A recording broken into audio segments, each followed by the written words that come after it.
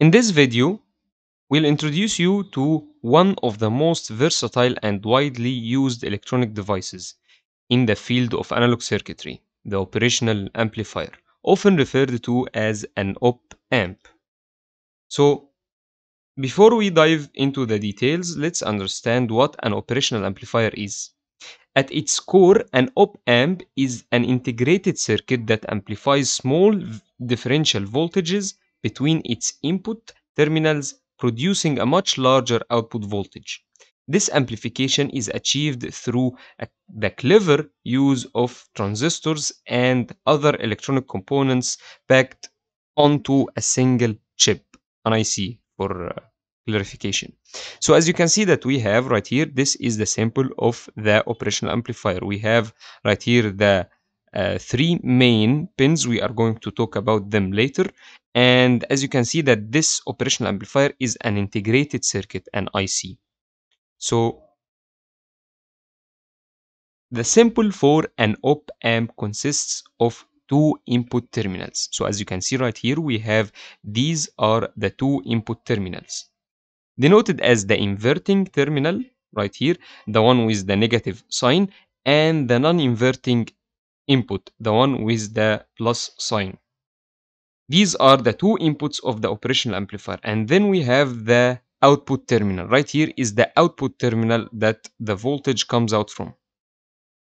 Additionally, op-amps have power supply pins, usually denoted as V plus and V minus. As you can see that right here is the V supply or voltage supply plus and the voltage supply minus.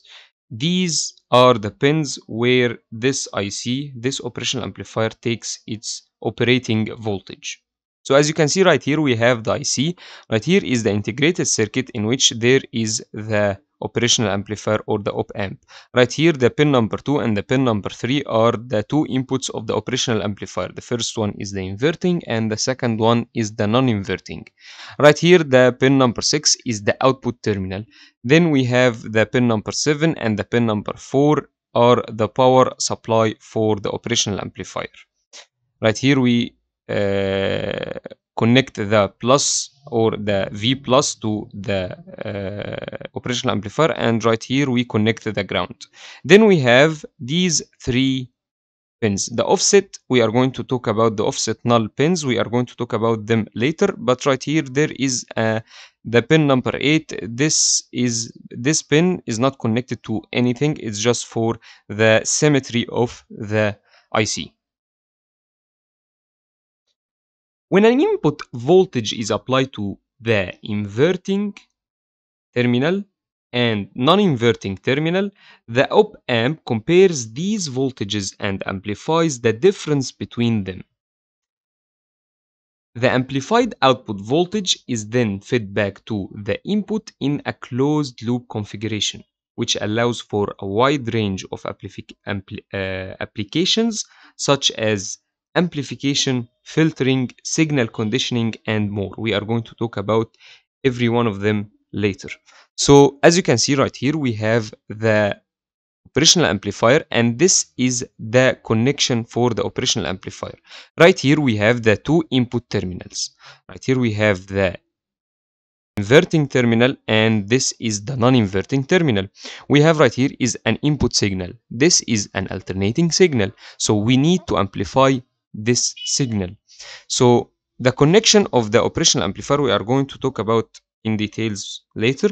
But first as you can see that we have right here is this resistance and another resistance that called a feedback resistor we are going to talk about later. But as you can see that the input signals goes to the inputs of the operational amplifier and the opera- operational amplifier take, takes the difference between these two inputs and then amplify the difference between them. So as you can see that the signal is going to be comes out inverted so as you can see that the signal started from the zero point and rising right here started from the zero point and then decreased so now let's dive into a practical demonstration of how an op-amp works. In this setup, we have an op-amp connected as a voltage amplifier. Taking small input voltage and providing a much larger amplified output voltage. So as you can see right here, we have the uh, two power supplies. Okay, we have 12 volts each.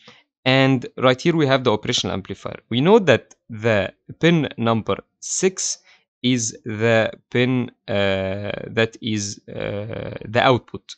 And we have the pin number 7 is the power supply and also the pin number 4 so the pin number 4 and the pin number 7 are the power supply. One is connected to the 12 volts positive and the other, the pin number five, uh, 4 is connected to the ground.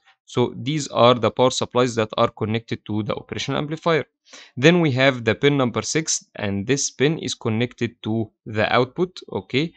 And then we have the pin number 2 and 3 are the uh, are the input pins.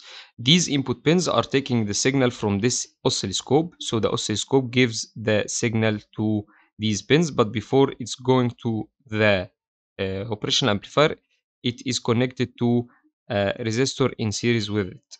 So right here we have the positive terminal of the signal is connected to a resistor in series and then going to the pin number 3 of the operational amplifier one of the two inputs of the operational amplifier. The other one is connected to the uh, feedback resistor and the feedback resistor is connected to the output okay and also the other pin is connected to the negative terminal of the power supply so then we have right here is the output terminal okay so the output terminal right here is the terminal which the uh, signal is amplified.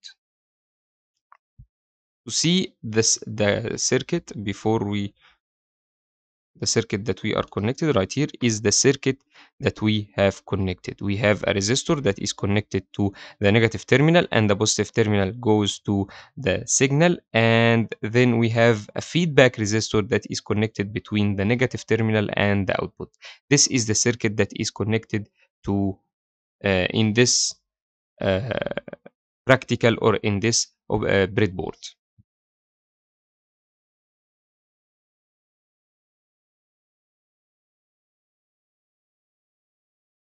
So now that we have understood the basics of an operational amplifier and its uh, amplification capabilities, let's explore some common applications An op-amp can be used as an inverting amplifier and a non-inverting amplifier, also a comparator, an integrator, a differentiator, and much more. So the applications of the operational amplifier are widely in all of the things that we need to use in our uh, electronics course. So as you can see that we have right here, these some of the most famous applications of the operational amplifier. The first one is the inverting amplifier that inverts the signal and amplify and amplify it. Non-inverting amplifier, this amplifier amplifies the signal without inverting it. And we have the comparator that compares two signals together and then amplify the uh, result. Then we have the integrator amplifier that integrates the signal and the differentiator that does the differentiation uh, operation to the signal. So each application has a specific circuit configuration, utilize the input and feedback resistors to achieve the desired functionality by combining multiple op-amp circuits, complex analog system systems can be designed to meet a wide range of requirements. So, in summary, operational amplifiers are versatile electronic devices that amplify small differential voltages to produce larger output voltages. They find applications in various fields, including audio amplification, instrumentation, telecommunications, and control systems. Understanding the principle of op-amps opens up a world of possibilities in the realm of analog electronics. So we hope this introduction to operational amplifiers has sparked your curiosity and inspired you to explore further. Stay tuned for more exciting videos and see you in the next lecture of this course. Thanks for watching.